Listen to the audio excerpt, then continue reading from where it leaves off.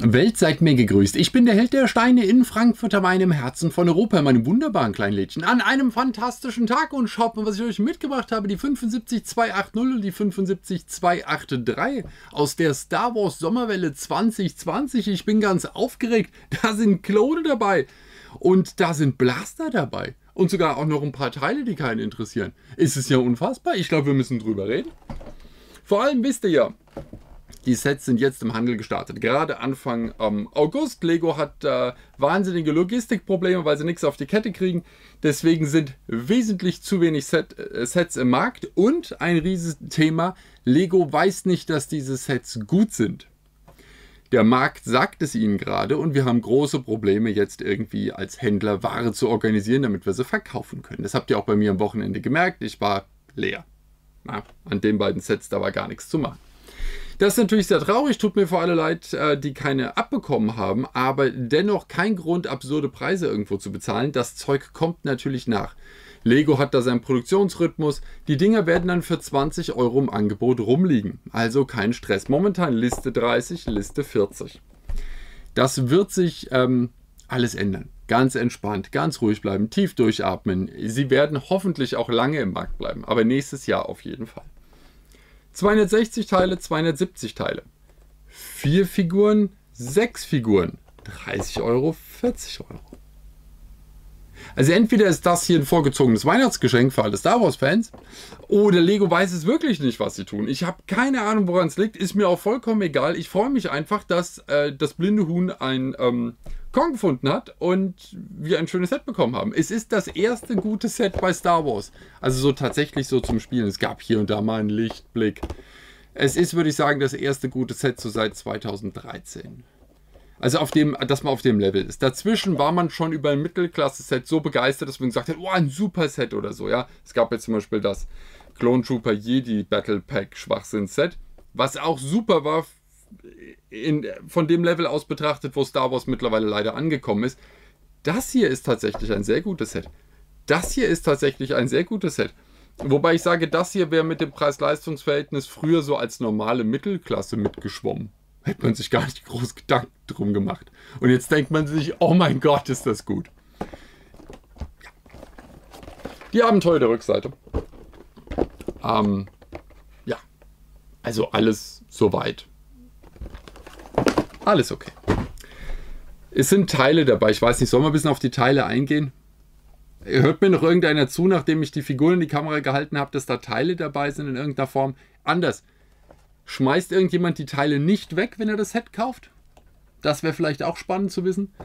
Ähm, es wird jetzt hier, das ist ein Bugspeeder. Also ich meine, die beiden Sets 75002 von 2013, 75012 von 2013 das waren die eigentlich. Die Dinger, sagt ihr Star Wars-Fans mir immer, sind viel zu groß, die müssten viel kleiner sein. Ich glaube euch da einfach mal. Hier ist ein Stud-Shooter dabei. Hier sind übrigens auch Stud-Shooter dabei. Hier ist die Verwendung eines Stud-Shooters sinnvoll und akzeptabel.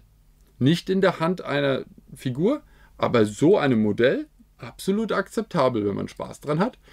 Äh, kann ich hier auf irgendwas eingehen, teilemäßig, was spannend ist? Also ich meine, hier sind auch nochmal zwei Blaster. Darf ich übrigens an dieser Stelle kurz sagen, dass dieses Set 75280 für 30 Euro mit 6 Figuren und 260 Teilen sieben Blaster an Bord hat. Sieben. Sieben Blaster. Habt ihr mal eine Übersicht, welche Sets sieben Blaster zur Verfügung haben?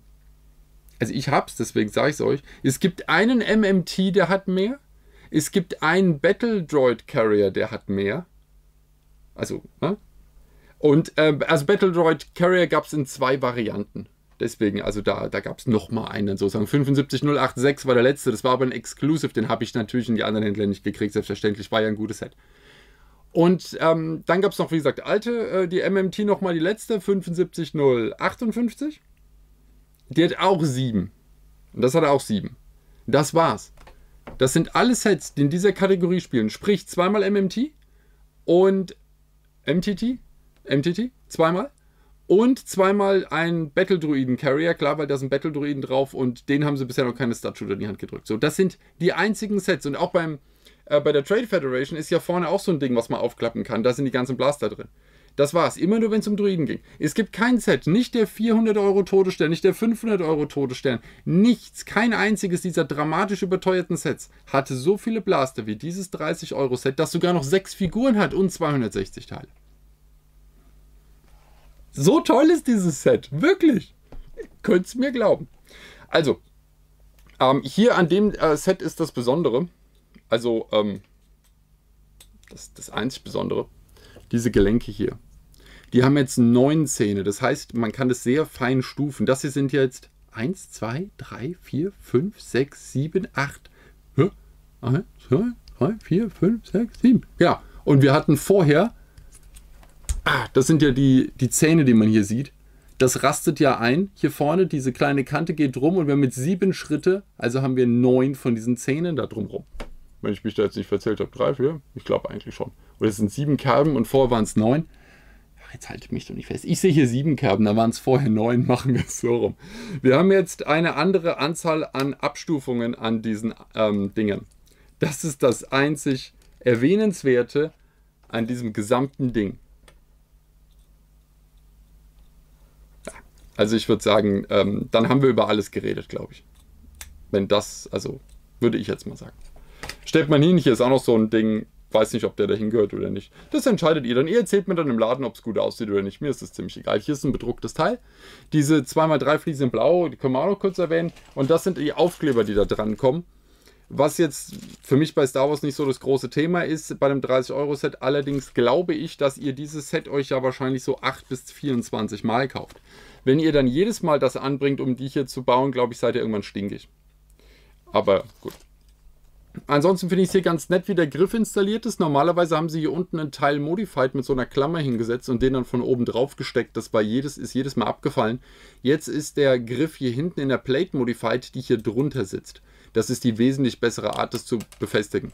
Wenn man seitlich dann dran robbt, geht es trotzdem ab. Aber nach oben nicht mehr. Man kann das jetzt hier problemlos halten. Das ist eine, das ist eine ganz schöne Angelegenheit.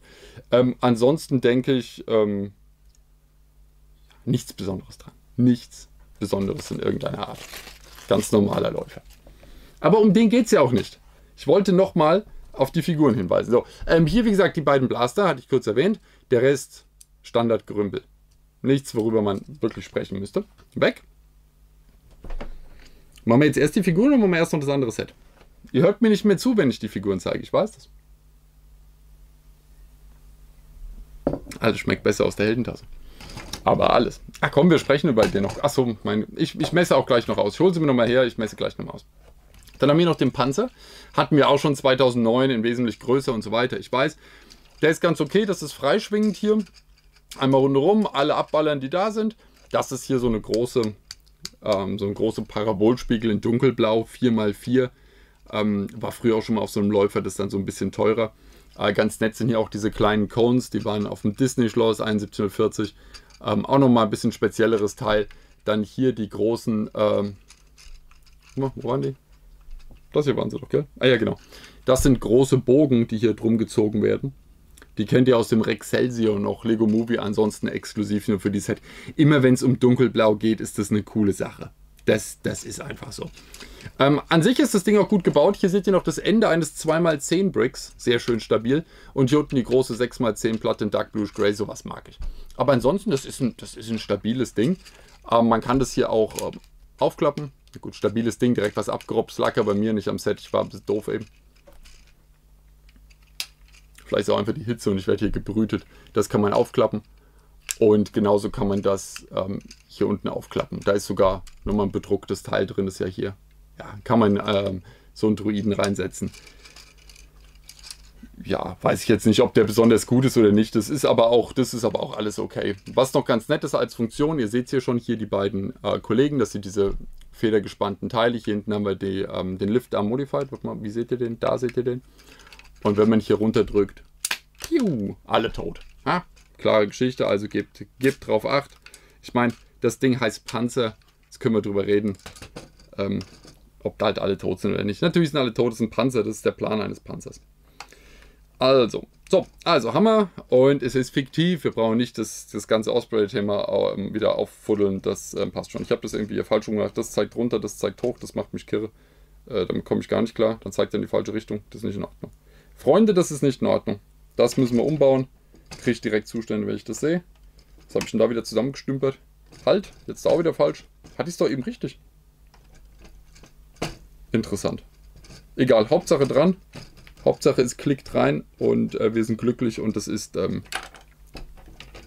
es ist ein stabiles Set übrigens. Nein, es ist wirklich stabil. Wenn man sich nicht dumm anstellt, funktioniert das alles einwandfrei.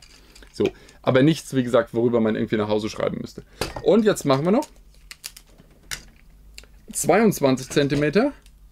Freunde, ist heiß hier. 14 cm. Ich bin immer noch nicht glücklich mit dem Ding hier.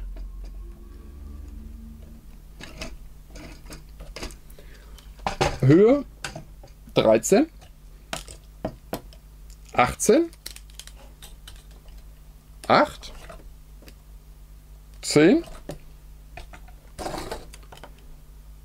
20, na, komm, habe ich 20,5 vielleicht, 5 und 5.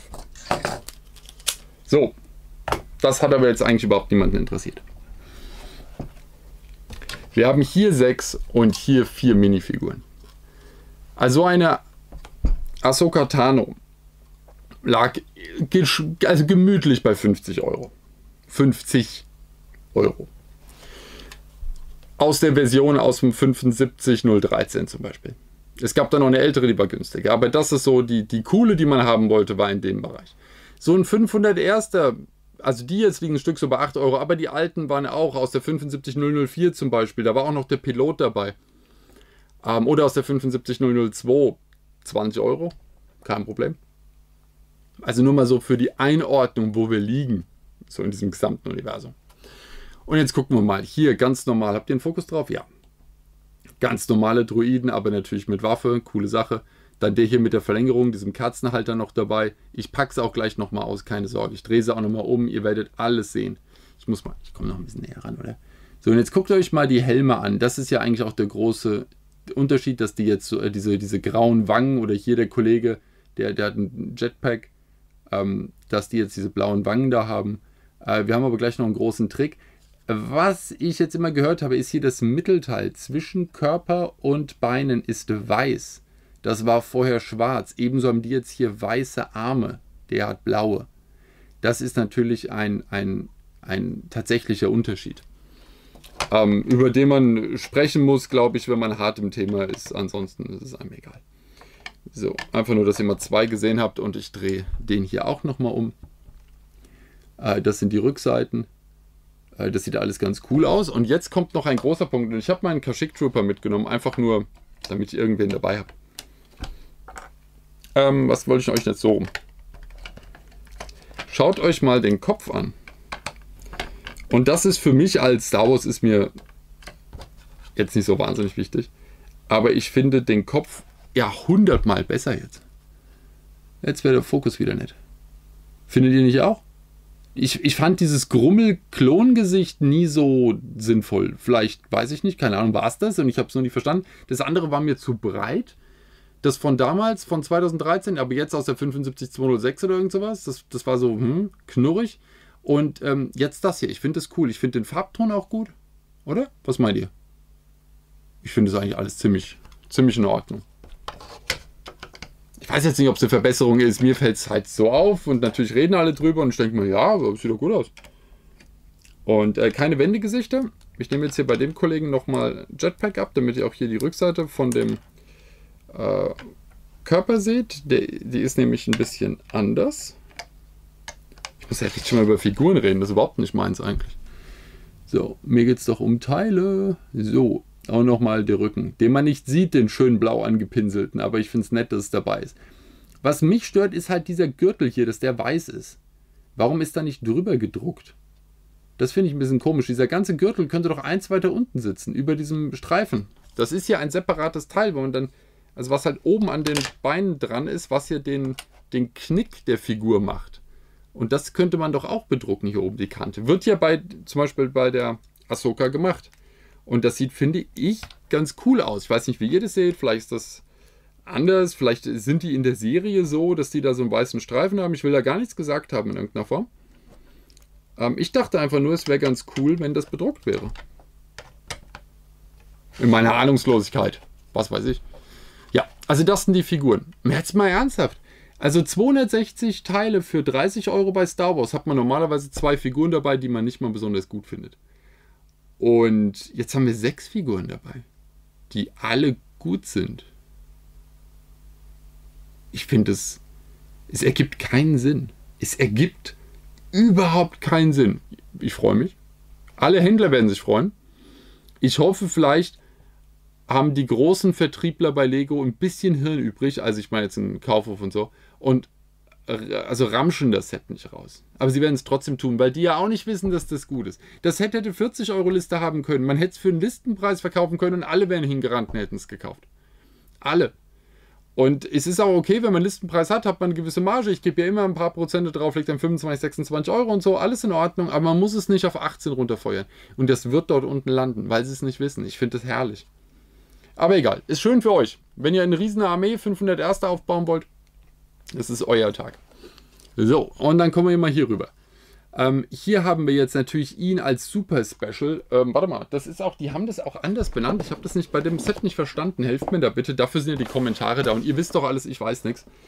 Ähm, das ist ähm, Ahsokas Clone Trooper. Ich finde immer noch Ashoka, fände ich schöner. Aber egal. Ahsokas Clone Trooper. Und der kommt ja auch aus irgendwas 233, 332, 323, irgend so eine 3-2er-Kombination. Und dazu haben wir einen Battle-Droiden und einen AAT-Driver-Battle-Droiden. Ähm, also ist der, der Battle-Droid, ihr wisst ja Bescheid. Ähm, ich verstehe nicht ganz. Es sind auch exakt die gleichen. Haben die nicht früher so bei den, bei den äh, Piloten oder sowas, die hatten dann auf einmal so einen gelben Torso oder irgendeinen Punkt noch auf dem Kopf oder so, irgend sowas. Die Dinger gab es ja im Gunship schon von 2019, waren die ja drin. Die sind ja keine neuen Figuren. Ich frage mich jetzt nur, was hier los ist. Aber auch wieder Blaster, Blaster, Blaster. Ist das nicht super? Und natürlich ähm, sie hier. Ich nehme mal die ähm, ja, Lichtschwert. Könnt ihr euch ja denken, dass ein Lichtschwert dabei ist. Ist ja nichts Besonderes. Und die nehme ich mal. Äh, so, einmal drauf. Ich finde ihn ja schon ziemlich cool, muss ich sagen. Mit dem, mit dem orangenen Helm. Hat er sich einfach mal von seinen. Ansonsten exakt die gleiche Figur übrigens für die gegenüber, ja. Also gar kein Torso, auch komplett gleich, alles gleich, Kopf gleich. Es ist nur oben diese orangene Zeichnung. Und jetzt werde ich, das haben doch auch damals alle Kinder immer gemacht, haben ihre normalen Klone genommen und die dann angemalt, damit so Commander, sonst was Special irgendwie irgendwas geworden sind. Und genau das gleiche wird auch hier passieren, bin ich mir ziemlich sicher dass die normalen, die man dann dreimal hat, dass einer davon dann so ein Orangener wird. Ja. Mit einem schönen mit dem Edding da gesessen und mit dem Filzstift irgendwas Gruseliges draufgemalt. Wenn die wüssten, dass ihre alte kaputt gemalte Figur jetzt 40 Euro wert wäre und die haben sie irgendwie auf 40 Cent Schrottwert runtergepinselt.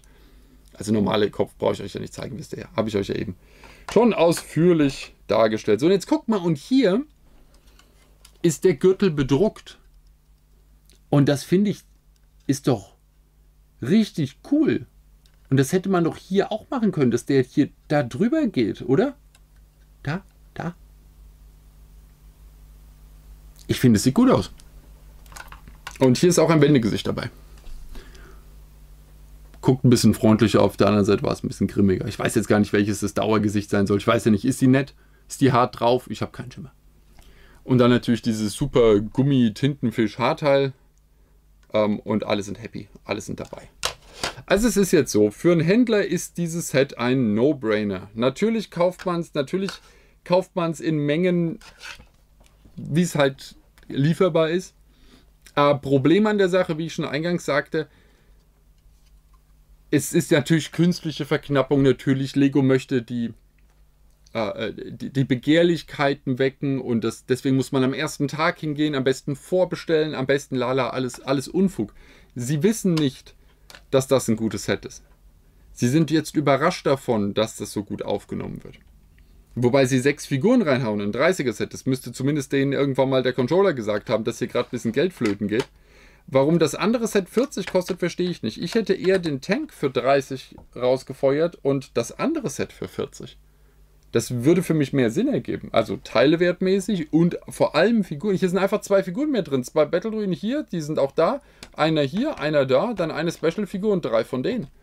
Ich finde, dass ähm, dieses Set hier hat einen höheren Wert. Auf jeden Fall. Ich freue mich auf jeden Fall. Versucht bitte nicht bei mir zu reservieren. Ich habe bestellt. Ich weiß nicht, wann es kommt. Ich weiß auch nicht, wie viel kommt es, es, sind ja Bestellungen, die sind schon lange, lange, lange, lange, lange getätigt. Die äh, poltern noch rein. Ich werde immer noch die Bestseller nachbestellen. Ich werde aber keine Sets mehr zum Marktstart ordern, da dieses ganze Elend, dieser Zirkus, den Lego da macht, mir wahnsinnig auf den Keks geht. Und meinen Kunden auch. Und wo laden Kunden ihren Frust ab? Bei Lego? Nein, davon sind sie Fans. Bei mir und bei anderen Händlern. Und da habe ich keine Lust mehr drauf. Ich warte einfach, bis dieses Set soweit verfügbar ist, dass ich 200, 300 bestellen kann. Dann order ich sie rein, dann habe ich es bei mir im Laden. Alles davor ist Unfug. Und solange Lego das nicht auf die Kette kriegt, order ich halt nicht mehr. Na, passt schon. Wenn es genug machen würden, wird sich was ändern. So entledige ich mich nur einfach des Frusts. Ja, und das langt für mich persönlich schon völlig. Also ich ähm, äh, freue mich darüber. Ich werde das jetzt ähm, nicht ins Schaufenster stellen, weil sonst kommen alle und sagen, ich hätte es gerne und ich habe es gar nicht. Aber äh, ich habe mich auf jeden Fall darüber gefreut. Das tatsächlich. Wir können jetzt ja auch einfach mal optimistisch sein und sagen, warte mal, also ein Schwert macht es immer nach hinten, gell? Äh, wir könnten mal optimistisch sein und sagen, vielleicht kommt Star Wars ja wieder in die Spur. Denn 2012, 13, teilweise noch 14 waren die letzten guten Star Wars Jahre bei Lego. Und wer weiß, vielleicht ist das ja der Beginn einer Ära wieder. Dass Star Wars wieder lustig wird und gut wird. Dass man die Sets wieder gerne hat. Dass man sich darauf freut, wenn neue kommen. Und dass man nicht ständig den Kopf schütteln muss das wäre, also die beiden Sets haben in diese Richtung viel bewirkt. Möglicherweise ergibt es ein Umdenken, sogar auch bei Lego und sogar bei Disney, dass man vielleicht auf dem falschen Kurs war jetzt so für sieben, acht Jahre. Das würde mich sehr freuen und mit Sicherheit auch sehr viele Star Wars-Fans außerordentlich glücklich machen. Und ich weiß, dass die mit vielen Emotionen an dem Thema hängen und dann sollte man sich doch ein bisschen um sie kümmern, oder? Findet ihr nicht auch? Richtig. So ist es. Ich pack weg. Es war mir ein Fest. Habt eine ganz wunderbare Woche. Auf jeden Fall dürft noch ein bisschen heißer werden. Gell? Ist ein bisschen frisch aktuell. Das geht ja nicht. Richtig. Habt nette Leute um euch rum und dann bis zum nächsten Video. Macht's gut.